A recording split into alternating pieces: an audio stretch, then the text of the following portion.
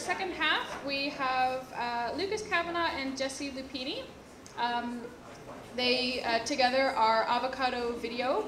Um, yeah, good. good. um, sure, let's applaud for that. Wow, that's That was good. Jesse almost didn't even want to be called by his name, so it's great that he's taking charge of the audience now. Um, so they do uh, science communication and video storytelling, and their talk is called Experiments in Digital Scientific Storytelling. Um, and their origin story is that uh, nine years ago they started working together as teachers at a science camp that they also attended together as children. Thanks, Larissa. How's it going, everyone? Good. There's a projector in my face. See, that was organic. It was organic the first time too. Sure. This is a little less organic. Take your microphone. Okay. Hello. Um, so thanks so much for the intro. Uh, my name is Lucas. I'm Jesse. You are booming. I'm very loud. I'm Jesse. Yeah. Um, and we have a company called Avocado Video. Uh, we are a science communication and video slash now podcast and written, and we do a lot of things now. Um, production firm here in Vancouver. Um, so thanks so much for inviting us to talk. Tonight has been awesome because we've seen uh, a bunch of people who have uh, perfected uh, a medium and have become true like experts in their field and at their craft. And I want to start off our talk by saying that that is not us. We, we don't do that at all. We're like the ultimate generalists. So every project we work on, we are not experts at anything we do, but we do our best to try and um, a understand how the general public, who are also not experts in a lot of things, see the world, and and b we try and learn as much as we can about the, the topics that we're studying and communicating about. Right, so uh, today uh, we're just going to show you a few of the things we've done and a few of the strategies we've employed uh, to tell scientific stories, um, which is probably better described as, instead of experiments in digital scientific storytelling, uh, times we've made audio video things that people have liked or learned things from and lessons we've learned making those things. Which is, of course, a terrible way to communicate that. So uh, instead, we're going to go with tricking people into learning things, which is really what we like to do. Cool. Um, so the first one we're going to talk about, uh, essentially, our, our company is divided into two halves. Um, half that people can hire us to make things for them, people who have scientific messages, uh, and half is uh, us sort of uh, being more driven by a creative side of things, uh, making documentary projects, educational things that we just believe are important and want to put out, out into the world. So that's mostly what we're going to talk about today. Um, one of the ones we made last summer is called The Rarest Drug on Earth. This is a 10 minute web documentary which was funded by uh, TELUS. Thank you, TELUS. Um, your internet fees go somewhere, to us apparently. Um, and essentially, uh, this is a really incredible story of an isotope called actinium-225, which has shown amazing uh, early results in German trials, uh, literally bringing back prostate cancer patients from the brink of death um, to a point of complete remission of their cancer, which is incredible. The problem is, on the entire planet Earth, there's about enough actinium-225 to treat a couple hundred people a year. Uh, so not even enough for a proper clinical trial. The solution to this uh, actually exists right here in Vancouver. Uh, it's a facility called TRIUMF, which is a 50-year-old particle accelerator um, underneath the University of British Columbia. And uh, we essentially heard about this story and felt it was a story that needed to be told. So we made this documentary. Uh, we've got a short clip from it to show you. Um, the time we learned about this, we, we attended a lecture, which was about 45 minutes, and went into the details of like TRIUMF's production plan for this isotope. Uh, and we needed in this 10 minute web doc to take those 45 minutes and condense them down to one minute. Um, so we used some animation, we used some very creative storytelling, and we came up with this minute of film, which we're about to show you. Enjoy. just aren't many places in the world where you could make actinium-225 with this method. Fortunately, uh, TRIUMF is one of them. At the end of the aisle there, you can see the yellow tower, and that's where the actinium is made. This is the beam dump, a huge block of aluminum that safely absorbs the leftover proton beam. When TRIUMF was designed 50 years ago, the idea of targeted alpha therapy hadn't crossed anyone's mind. Really, it was quite coincidental. Paul came back to TRIUMF and he said he happened to be walking by a group of our accelerator engineers and they kind of caught his eye because he had a spreadsheet that was spread out in front of them that was filled with all of this data. And Paul said, well, what is that? And they said, uh, oh, well, you know, this is, this is what's in the beam dump. And Paul said, is there any actinium in there? And they said, oh, yeah, lots.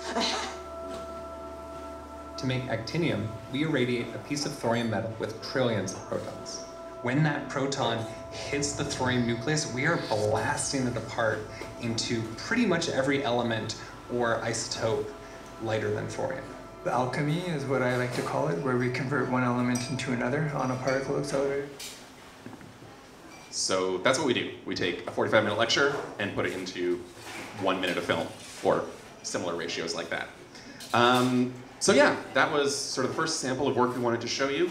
Um, it came out a year ago. You can watch it for free online uh, at rarestdrug.com, or uh, if you have TELUS Video on Demand, apparently it's there too.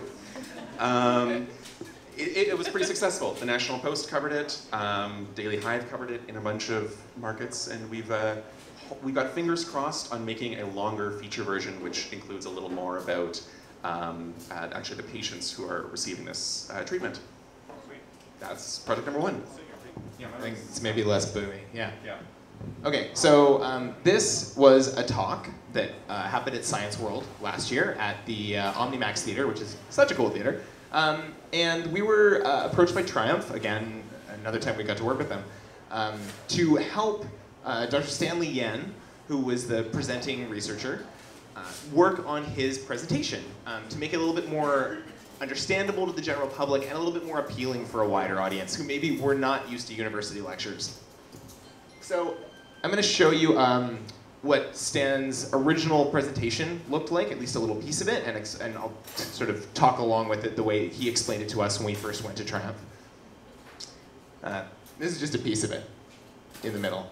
So uh, supernova core collapse is where neutrinos come from. And this is the Crab Nebula, which is um, what's left over of a supernova from 1054. It was visible in broad daylight for several weeks. And that's the next one's probably Betelgeuse.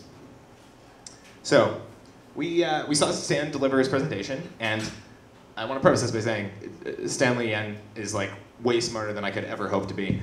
Um, that his presentation is something that he'd been working on and like adding to for a long time, but he hadn't updated it from scratch in a long time. And he was going to be delivering this lecture to a group of people who probably included a lot of folks who did not study science and maybe didn't even follow it really regularly. So we needed to turn this into more of a story and less of a university lecture. So this idea, we're not going to show you any of the like neutrino stuff in this case. We're just going to talk about this idea of this, you know, next core collapse supernova thing we turned this idea into the structure of the whole um, of the whole presentation. So at the start of it, before we got into the science, before we got into neutrinos or how they work, or how these particles work or what they are, we introduced the idea of guest stars. And guest stars have been seen throughout human history in the sky. Uh, there's evidence for them in, in ancient writings and on cave walls with, with cave paintings. And they're these stars that appeared briefly and they burned for sometimes up to a year in the sky, and they were a new star that had never been seen before, and then at some point they went out, never to be seen again. So this is what the sky would have looked like in Vancouver in uh, October 23rd, 1054. So there's a Orion there, and you can see above it this star that was not there before, shining brighter than anything else in the sky. It would have been absolutely stunning to see in real life. And, and ancient peoples from this time recorded this, and, and we can see the evidence of that today. So we open the presentation with this mystery, this thing for the audience to, to hold on to and remember and think about. And after talking about neutrinos a little bit, we kind of left this. We didn't connect the dots immediately. We talked about how they worked and what they are. Um, and then we came back to it later in the presentation after explaining that neutrinos are released uh, when stars go supernova. We came back to this guest star of 1054 and we showed how it was, in fact, a star going supernova. That's what these guest stars are. And what it is now today, we had some music and sound over this. Lucas actually DJ'd the presentation live. I'm, I'm not kidding. That's great. And so here it is. It's now the Crab Nebula, which is one of the most photographed objects in the sky.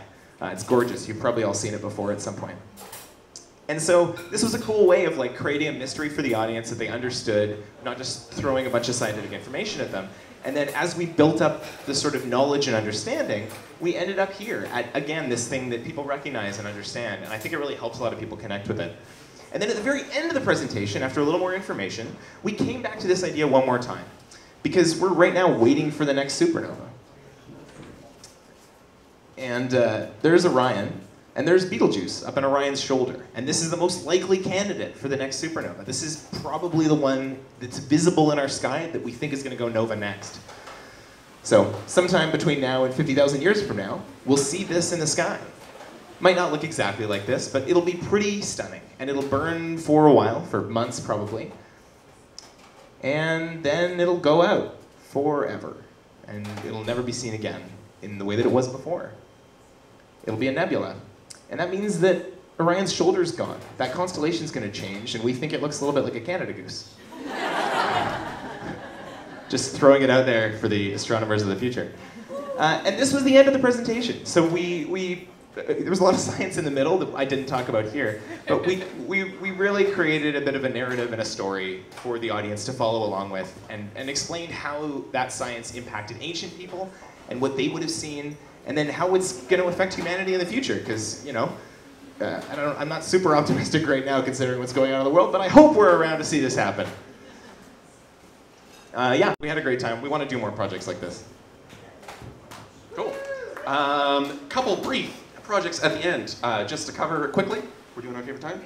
All right, awesome. Um, the thing we're probably best known for, um, it does not traditionally fall under the guise of science communication or art. Uh, it's political videos, uh, which we make a lot of around uh, each election. Uh, we made one for the last BC election. We made one for the electoral reform referendum last year. We're going to make one again, uh, or maybe multiple ones, for the upcoming federal election. Um, we just wanted to talk about these briefly because we're really passionate about them and we believe they are a form of science communication and art. Um, they're science communication because uh, the idea behind these is we give people a simple tool to quickly educate themselves on a series of issues in sort of four to five minutes. Very dense, information rich, so that if you are interested in a particular thing, you can grab that little piece of information out of the video. Um, and we hope that that sparks critical thinking and uh, engagement in things that affects everyone.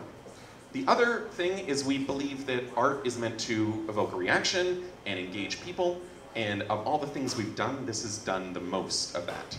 Um, so each of these videos uh, received sort of about 600,000 uh, views in the province of BC, uh, and uh, about 15% of people um, uh, engaged with them in some way. So we were pretty proud of that, and we want to we want to do more of that.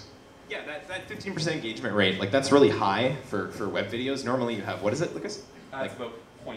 Yeah, normally like a, a, YouTube video or a web video, you have 0.25% of people actually engage with it in some way. And people were engaged with this. They were interested in it, they were commenting on it, they were talking about it, and that means people were using it and listening to it. And that was great for us to hear. Although a little bit scary that, I don't know, politics is, is its own kettle of fish. Okay, I won't get into that. Um, Okay, last thing. So we are working on one of the Her Story videos for Curiosity Collider, which has been so, so cool, such a cool opportunity. Um, we're working with uh, Dr. Jessica Pilarczyk, who is an assistant professor and Canada Research Chair at SFU. She studies ancient tsunamis and how they occur and maybe how we might predict them in the future.